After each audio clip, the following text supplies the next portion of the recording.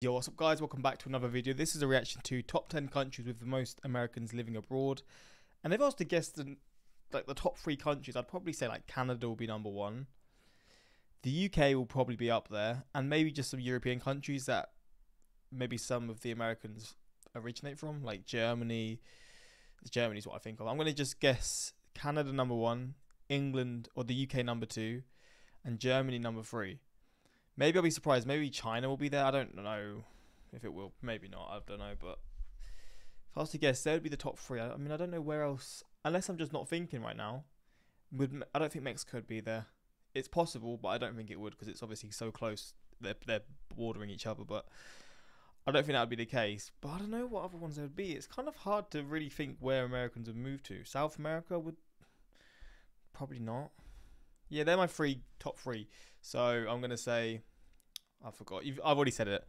UK, Germany, and Canada. But we're gonna jump into this and see what it is. I'm gonna probably be really surprised, but maybe not. But yeah, let's check this out and see the top 10 countries. And yeah, if you want to see some more of my reactions, links are in the description to my Patreon. But yeah, let's just jump into this. What is going on, everyone? Welcome back to the world according to Briggs. I hope you're all doing well. Today, we're going to take a look at where Americans are going when they've decided. Would would no no? I'm thinking of like the the state countries, but no. Yeah, I mean I don't know. I'd probably say them. Maybe Australia, but nah. Top three of those ones. Australia will probably be in the top ten, but the United States isn't working out for them anymore. About 10 million Americans live in other countries, not counting the military or government personnel and their families, nothing like that. And that's according to the US. The United Nations says there's only about 5 million US residents living in other countries. Oh, the numbers are all over the map depending on how you look at it. Some only count US born citizens that now have or are applying to get citizenship in another country, while some get counted because they bought property or they live in another country most of the year. Basically, we won't have any exact numbers on this one. Italy. I'm just going to give you a range according to the different studies, okay? Since 2006, I've just clocked there's some countries, probably Italy, Spain. They're going to most likely be there ahead of England, to be honest. I mean, I don't know why you'd want to move to England other than the fact that it's an English speaking country. The rate of outward migration has picked easier. up steam. That was until the pandemic hit and, you know, threw everything out of whack. Trends are broken and people stayed put. The numbers on this list are what was reported by the US Census and a couple other organizations up to 2019. So, why do people leave the United States to live in another country? Most of the time, it's money. About 60% of the people give that as a reason. They move to other countries for lower cost of living and more affordable housing. Other reasons listed were politics, family, romantic relationships, and one man listed Nigeria because a Nigerian prince owed him some money and he wanted to stay close to his investment. What? But whatever the reason is, a lot of oh Americans oh are moving to other countries to live their life. All right, let's see where all the expats are staying. Number 10, Italy. There we go. Thought it'd be a bit higher, but it's still in the top 10. Food, beautiful ancient cities, decent weather for the most part in most of the country, and it's a lot cheaper. When you look at the cost of living according to the world data, they use the United States as the base and they give it 100. Italy gets a 58. This means normal expenses are about 42% cheaper. And I think it's a pretty high standard of living as well. Like Italy, obviously there's places that will be bad like anywhere, but a lot of the time, man, you're living in Italy, I think it's just a simpler life and it's probably just a lot more relaxing, not as hectic. Like living in the US is probably just a lot more, just constantly having to do things. Maybe I'm wrong about Italy. I've not actually been there, but that's how I sort of see Italy.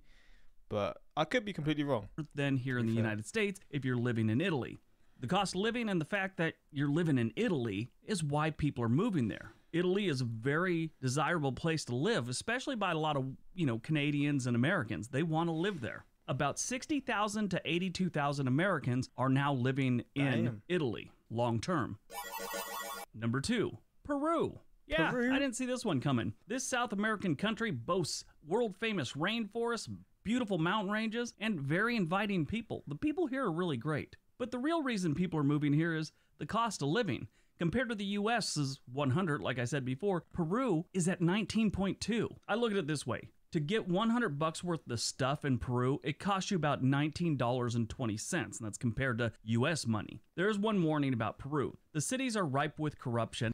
It's pretty dangerous in some parts as well. Peru, I was not expecting at all. bro. And counterfeit currency is commonly given to tourists. I'm sure if you live there a while, you're going to know the difference, and you know they probably won't try and scam you. But that's a big thing they do to you know Americans, Canadians, whoever moves down there. Between 56,000 and 84,000 Americans live in Peru long term. Number eight, France. It's France, France, so I'm sure not many people are surprised Americans are moving there. It's a beautiful place to live. Housing is cheaper for the most part. If you decide to live in, you know, Paris or, you know, the French Riviera, it's going to be a little more expensive. But most of the place, it's a lot cheaper. France has world class wine, legendary food, and more than enough things to see and do. Their cost of living index number is 65.9. One warning though the French have a reputation to Americans as being rude. In my experience, they're only rude when you're rude or being stupid. It's almost like they have zero tolerance for stupidity. It may be a little bit shorter fuse with Americans. Between 59,000 and 97,000 Americans live in France long term. Number seven, South Korea. South Korea has been showing up on this list periodically since the 1980s. Sure, they have a crazy nuclear powered country next door, but that is a minor issue to most moving there. Yeah. Would people in the military count? It wouldn't, would it? Because obviously there's a big mili- or there was a big military presence. I think there still is, but I don't know if that would count as being a resident there. So probably not. For some reason, that doesn't seem to bother a lot of people. South Korea remains one of the best places to live abroad for Americans. A lot of Americans land here because of the tech industry and they decide to stay after maybe they don't have that job anymore or their job wants to bring back to the United States. They get another one in Korea. South Koreans are known for being extremely welcoming towards newcomers. It's their thing. They're very, you know, it's almost like here in the South we have Southern hospitality. Koreans are very hospitable. Additionally, expats in South Korea will have plenty of things to do outside of the cities. They always seem to have some sort of festival or something like that going on in different places in South Korea. The cost of living index is 54, so Really? almost half price. I thought it'd be quite a lot higher than that. I thought it'd be like a probably around France, maybe a little bit less or a bit more. price what you have to pay here in the United States on average. It can get cold in some parts during the winter, but they have all four seasons, which a lot of people enjoy. The negative thing here is it's still technically at war with that They have all four seasons. What countries don't have all four seasons? I mean, I'm sure that I guess they just don't have the extremes of all four seasons, right? Like they'll have snowy winters and then warm summers. I guess that's what he means. crazy neighbor. So it's been over 50, really almost 70 years that they've been at war with North Korea, and not much has really happened in that time, but it's something you want to keep in mind. Between 67,000 and 111,000 Americans live in South Korea long term. Number six, Israel. One of the main motivators? For a new life in Israel is obviously religion. That is Oh, fair enough. But still, I was not expecting Israel to be this high. I wouldn't have expected it to be in the top ten at all. isn't the only reason, though. Israel has a growing tech sector and a really low cost of living. They come in with a 55.4 cost of living index. One thing to keep in mind Israel isn't a war torn desert landscape like Syria or something. If you've watched too much cable news here in the United States over the years, you might think that. Yes, they have had conflicts and unrest dating back hundreds and hundreds of years, but for the most part, it is very rare to have some craziness going on on the streets of Israel. Israel is an amazing country with really nice weather most of the time. That's what draws a lot of people in cost of living, good weather, and religion. Between 76,000 and 122,000 Americans live in Israel. Number five, Australia. That's right, the land down under has a whole bunch of Americans. Try 'em, mate. They may not want them, but if you live there, you'd never know. They're always so nice. I'm sure some of them can be dick. It's weird how almost every single Australian I've ever met has been extremely pleasant and fun. They're just nice people. Weather and beaches play a big part in the American migration to Australia. Australia isn't as cheap as others on this list, with a 78.1 cost of living index, but the beaches, weather, and lifestyle are really why people move here. About 90% of the people in Australia live within 20 miles from the ocean. If you want to live inland, it's not as populated, so you'll find cheaper land, but maybe not cheaper everything else because of shipping and logistics and getting things to you. Sort of like here in the States, we have Alaska. Alaska's got cheap land in a lot of cases, but everything else is expensive because they got to ship it there. Between 114 and 145,000 Americans live permanently in Australia. Number four, Germany. Germany number four. I thought it'd be in the top three. There's a lot of German Americans So yeah, I did think it would be higher. So still, what hasn't been said? Canada, the UK, and I'd probably say Mexico will pre- probably be in the top three then.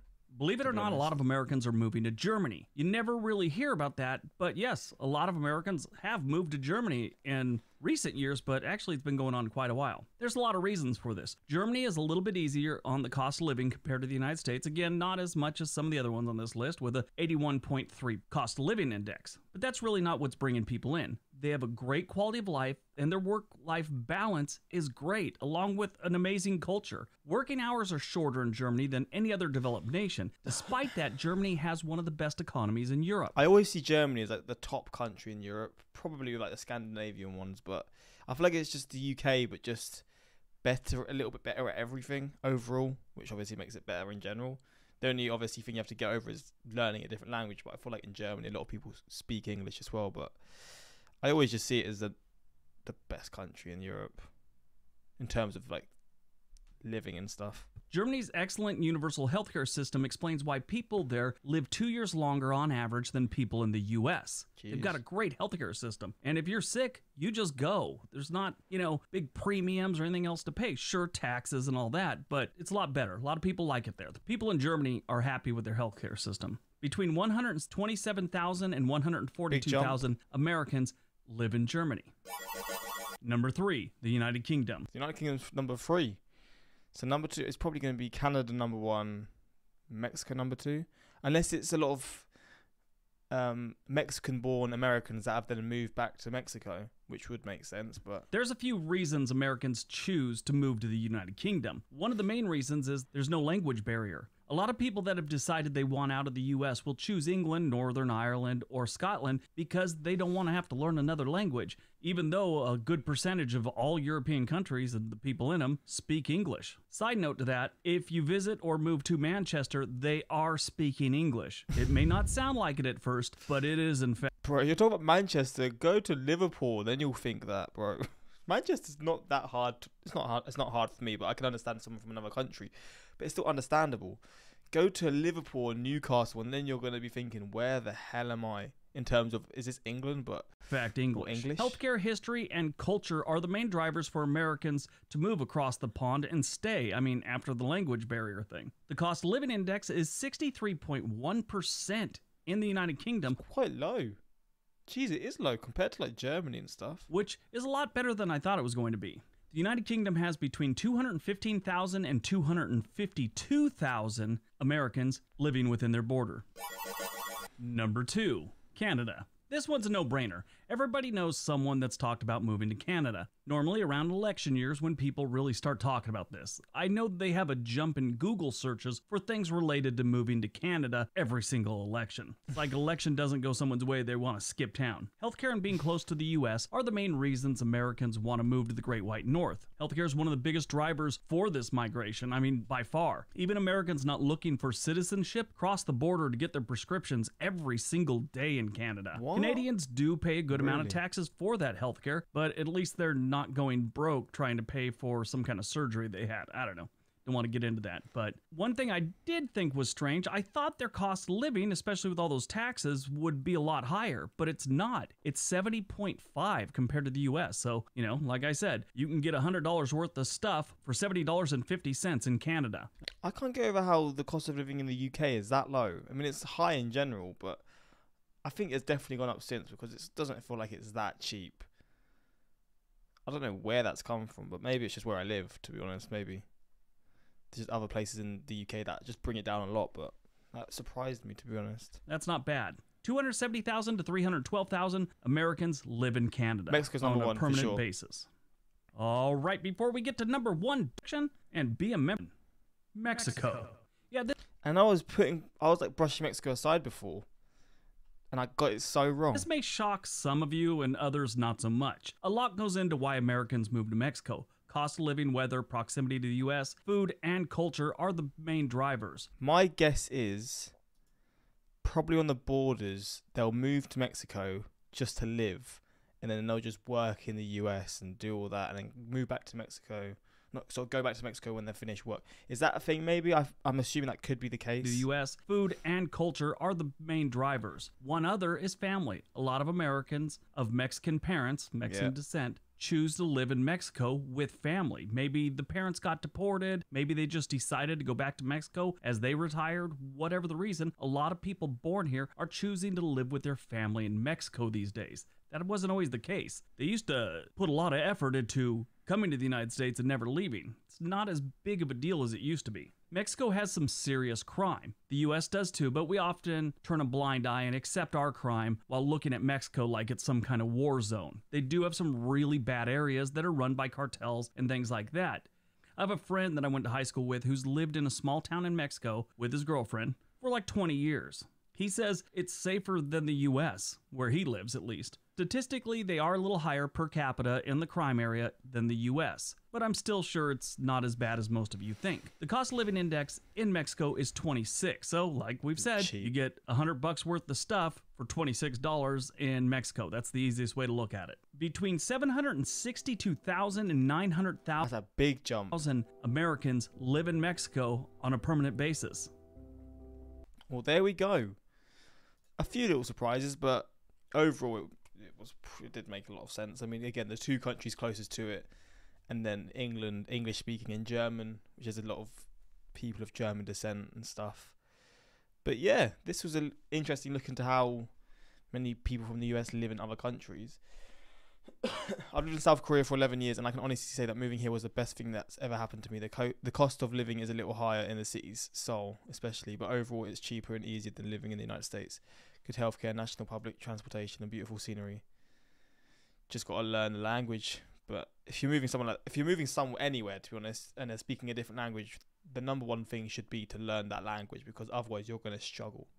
It's great seeing Americans Im- immigrate to other countries and experience different cultures outside the US. But yeah, hopefully you enjoyed this reaction. And yeah, if you're an American living somewhere else or considering living somewhere else, let me know where that is because I'd be interested in seeing that. And yeah, until next time, like, subscribe. Peace.